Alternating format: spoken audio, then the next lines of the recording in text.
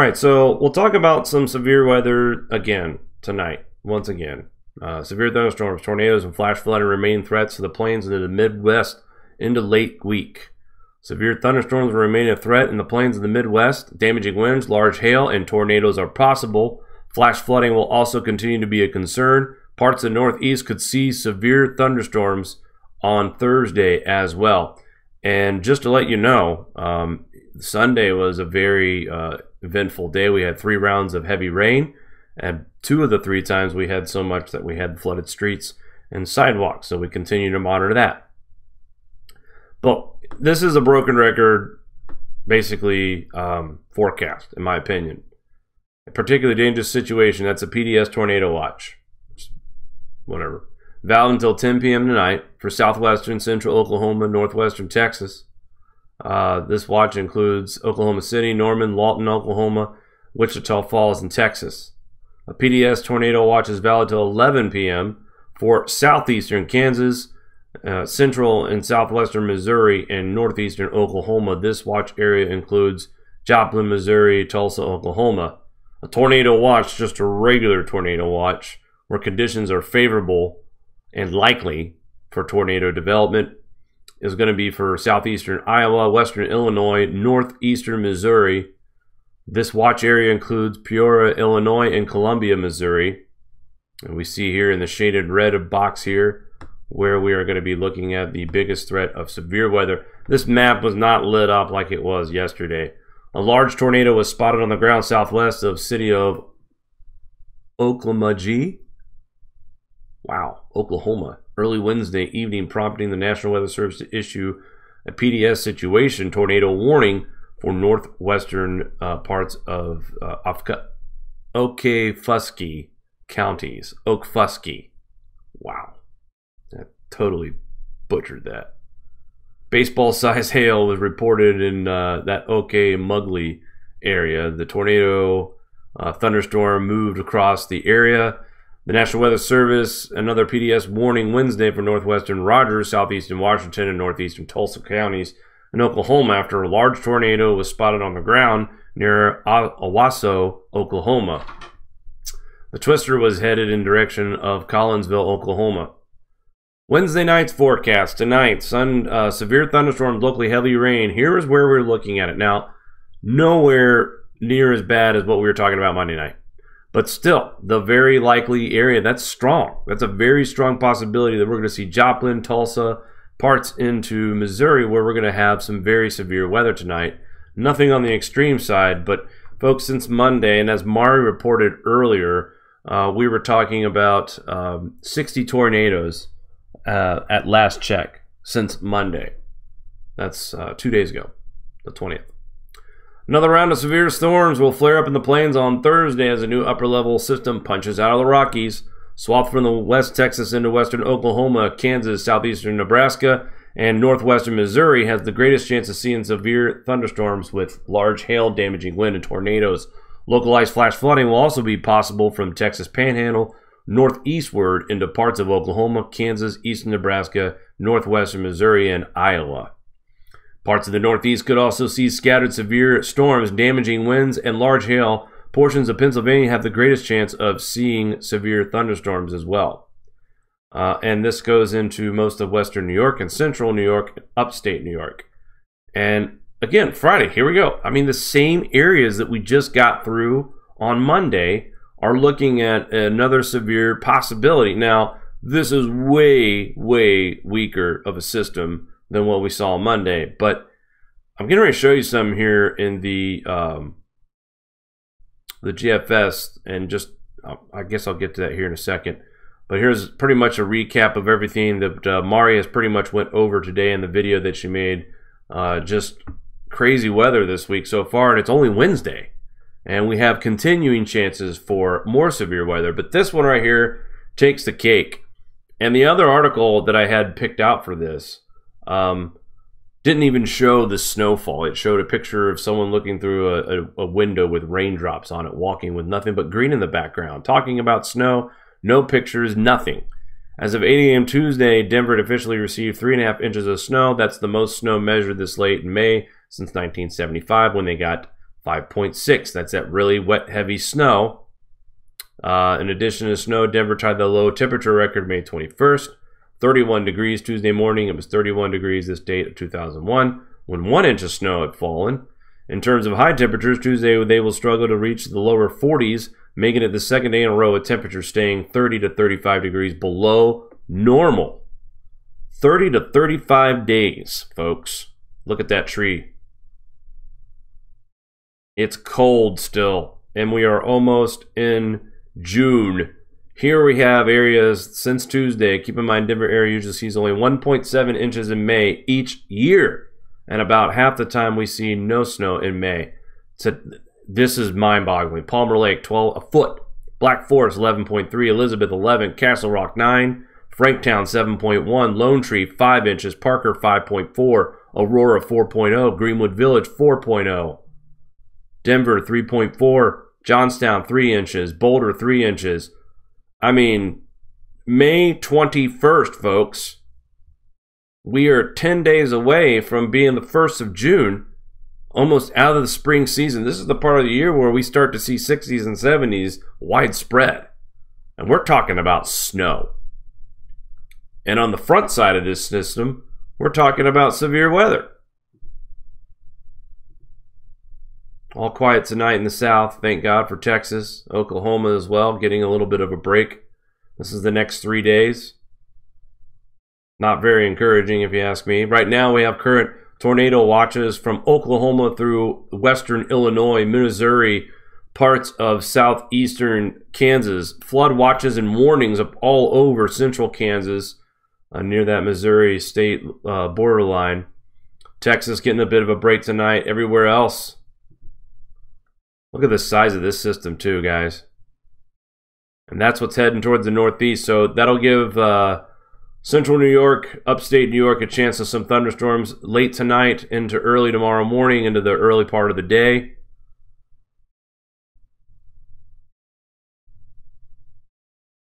Let's take a look at our GFS real quick. So we'll start here going into Thursday one thing I want you guys to pay attention. We're still talking about snow in the higher elevations, Colorado, Utah, Wyoming, Montana. Still talking about snow. Okay, tomorrow.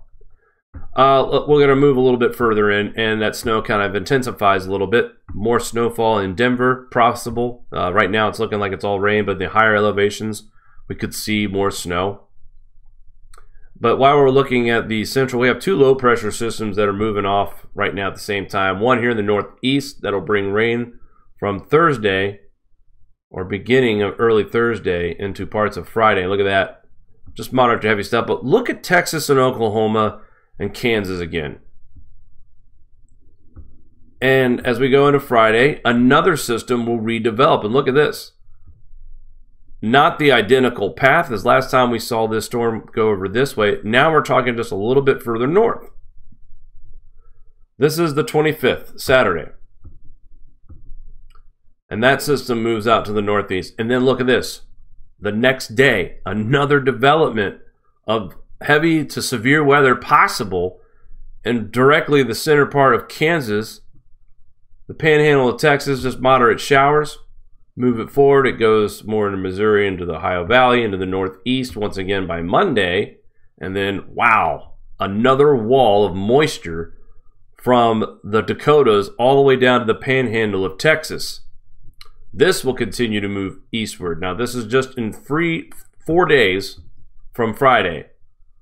And this time, this system will stay mainly to the north. It will not trek the same path that we have seen over and over the past couple days. So it does look like we get a couple days of dry time, and then by the 29th, midweek next week, watch this area once again intensify and develop. Same spots. Same parts that we're looking at just Monday and today and tomorrow. It will be here next week this time as well.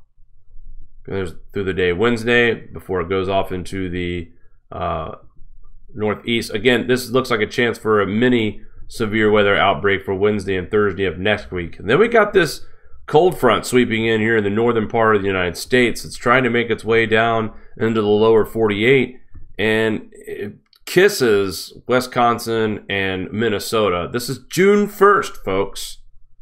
We have high pressure dominating and then back once again near Texas. Also, we got a storm in the Gulf. A lot of things happening here, guys, at the end of May going into June. Watch the Gulf here. I'll move this up so we can see this a little better. But we have something a brewing. Uh, we thought it was going to be on the eastern side of Florida. Now we have something approaching into the Gulf. It's going to connect with that low pressure system, kind of get its act together, and boy, does the moisture intensify. And again, more of the same for Texas, Oklahoma. It's not showing intensity right now, but it's still showing the same pattern of moisture redeveloping out of the same spot and continuing to move east into the same areas. Boy, look at this storm here in Florida. This thing kind of hovers around a little while. We got to watch this one. Uh, forget about Andrea. This little low pressure system right here will be in warmer waters by June 4th. And this is way, way out. So I, you know, you know how I feel about these 15, 16 day uh, forecasts. So I am not going to hang my hat on this yet, but it is a little concerning to see all this tropical moisture kind of just hang around. Parts of Miami could be getting a drenching here. And look, all I'm saying is, as intense as this rain is, is it sticks around down there in Florida. And we've seen 16 inches in Japan and 14 inches here in India and 16 inches in Mozambique and just everywhere around the world we've already seen heavy rain in a quick amount of time. And this storm right now appears to make an impact on the western part of the Florida Peninsula Tuesday, June 4th into Wednesday into Thursday, hanging around into Friday. So this could be a three day rain event of heavy rain, monsoon rain at this point, if this model holds together. And this is still far away out. Honestly, I think this is where we can stop relying on the model right about here at the first. But I want you to notice, like several times in this forecast, GFS is picking up this pattern over and over again where we have heavy precipitation developing. And guys, this is right over the plains where we're trying to get farmers in the field. Friend of ours at the Grand Solar Minimum, he is a local or a contributor to the channel with footage and updates. Uh, Matt out there in Nebraska, I want to appreciate your uh, comments and your close messaging with me. He was telling me uh, about how many farmers out there in his neck of the woods are not going to be able to plant on time. And some of them are struggling to get out in the fields because of all this rain, this constant flooding. Uh, again, guys, we invite comments from our um, our subscribers. We want to hear from you about what's happening in your neck of the woods, especially those of you who are in the south, near the Mississippi, the Delta areas, of course, the flooded out areas throughout Nebraska, South Dakota, Iowa, Missouri, Oklahoma now, and Texas, and Kansas, of course. So lots of areas that are being affected right now. And for those of you in the south who haven't seen much in the form of moisture, your uh, your dry spell is going to come to an end here soon. Um, I'd say somewhere around May 29th we start to see chances returning back to the deep south for chances for precipitation once again. And a lot of that has to do with that tropical moisture coming in through the Gulf. A very slow moving system that goes across the south into the 1st of June and also hangs around for a while. So we'll see what happens on a, if there will be a pattern flip or not. At this point right now, we are seeing uh, pretty much the same pattern every other day. Every other two days, we have a new low pressure system that forms almost in the exact same spot. And yes, folks, July or June 7th, we are still talking about snow in the higher elevations. What is going on? Are you kidding me? And no one wants people to think that we're still hot and we're continuing to warm? Get out of here. All right, that's going to do it for me tonight. Mari, did you want to say hello to anybody in the chat before we head out of here? I guess I could check temperatures as well because I kind of want to see what that cold front does at the end of the month. Look at that. Hi, Jake. Hello. Boy, we got some fun people in the chat. Let me just uh, pull up Be Friendly Permaculture is sending love from Australia. We have some Australia friends already tuning into us, listening to what you have to say, Jake. I mean, I don't mean to interrupt you. I know I just have to come over and say hi, but you know, we're talking May 25th, and we're still looking at high temperatures in the 50s in the Northwest and that's you know directly to all the moisture that we have even in the parts where we're like you know kansas and nebraska we should be in the 80s by now and we're barely. We will get to the 80s by maybe the first week of June, and things might start to dry out. I don't know, but go ahead. I'm sorry. No problem, Jake. You know, Rain. You haven't seen him in a while. No. Uh, he said he's down in uh, South Carolina now. They had 50, Getting ready to get a heat wave. Yeah, well, they had 50 uh, one night, 50, that would be degrees Fahrenheit. And then days later, they have a high of 102. So huge. That's a huge temperature huge swing. Huge swings. And I, I, I didn't mean to neglect that, folks. There is a heat. I've been talking about it for over a week, but there is a heat wave coming to the deep south, Alabama, Georgia, South Carolina, Florida. You guys could see temperatures in the triple digits a few times. 105 degrees is the peak temperature right now. They're forecasting for parts of Georgia, so something to watch here in the coming days as well, folks. Uh, Thor Valhalla, he said in Maine it's only 49 degrees, which is cold. Very cold. My heat would be on. Um, Herb Wag, Herb Wag from Wisconsin, North Wisconsin, had three to seven inches of snow last Sunday. Jeez. It's melted now. Um, let's see what else. Okay, and then Doug said he needs to get a GSM T-shirt soon, perhaps a hoodie, if we're Mm. gonna start chilling off. Yeah, right. I, I need a hoodie myself. I do have a T-shirt. I'll show it off one night when I do a broadcast. But I, I, I want a hoodie too, Mari. Father's Day. Teespring Father's is Day is coming up. We we also have merchandise on Threadless. I think Teespring's printing is better, and right now on Teespring through the end of the month, we do have our promotion. We are offering twenty percent off uh, GSM merchandise. It's T-shirts, hoodies, mugs, all that. Uh, you Hey, use, just in time for Father's Day. I mean, come on. Who who doesn't have a dad out there who's a weather fanatic? So There you know, this would be a great gift at twenty percent off. So just use promo code GSM Love. Uh, and we also have a little uh, advertisement slash flyer to reference in the community tab on our channel. If you need to reference that, the Teespring link and the promo code are right there for you. Um, let's see what else I got. Jake Green says poor uh, foreign market for clams and oysters in Washington State. They're sharing some some prices in the chat. Lady T is going to be moving to uh, where'd she say? I gotta see here. She's gonna start a homestead, and she's thinking about starting to grow uh, bamboo. I don't have it written down. You guys are scrolling too quick for me to keep up. Bamboo. Is she it. is she in Texas? Where's Lady T at? I forgot where she is. I think she's up north, but now she's moving. Here, Bam. Oklahoma. Gotcha. She's moving too. Gotcha. Yeah, that's a proper popular area for bamboo, I guess. But then David says bamboo in a tornado is not nice. No, no, which I'd no. have to agree. And right now, Oklahoma is definitely look. We're before this year started, they were talking about how they believe that the Tornado Alley had moved east. Folks, Tornado Alley didn't go anywhere. In fact, it's right on cue. What we've seen over the last several days, tornadoes in Texas, and Oklahoma, Kansas, that is typical Tornado Alley. So there is no indication in my book that the Tornado Alley has moved east at all.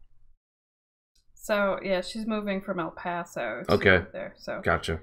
um, all right, that's all I have, Jake. I'm sure I'm missing a bunch of stuff, but it's late and it's been a little bit. You've had a busy here. day. Made a great video today on the tornadoes. I, I encourage everyone to check it out. I actually watched it a couple times a day to kind of help myself Did understand. you? Well, I had to figure out what was going on today. You're a fan. lots, Jake? lots of, lots of action. it. Thank But you. uh, so that's going to do it for us tonight, guys. Please like and share, and also subscribe to our channel here on YouTube. Hit that notification bell to get all the latest updates on GrandSolarMinimum.com. Check us out on Facebook, Twitter, and our website, TheGrandSolarMinimum.com. And you will also find our Teespring store at the website as well. That's going to do it for us tonight, folks. Stay tuned. We will be back with another Grand Solar Minimum news update. Until then, we will talk soon, folks. Good night.